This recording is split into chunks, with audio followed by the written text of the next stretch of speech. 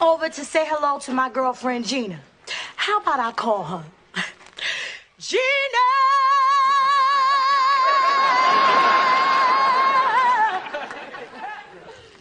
What's up?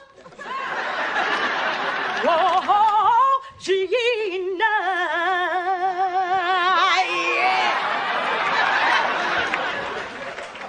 Up, girl? I heard you the first time, phony Braxton. What?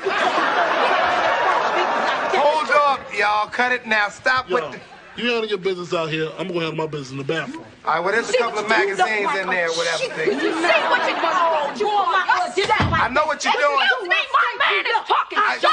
know what Yes, you're doing. yes. I know what y'all are doing, and it ain't going down like that. Baby, she called me Anita Faker. What you call me phony Braxton? Well, you can get one more girl and you'll be phony, phony, phony.